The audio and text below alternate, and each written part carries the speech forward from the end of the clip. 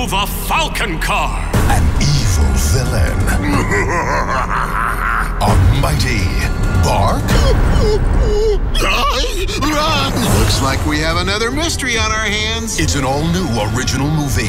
Scooby-Doo's ultimate heroes need help. Dog Wonder. From a madman with an alter ego. Monster Man! Return to your master. Let's get the heck out of here!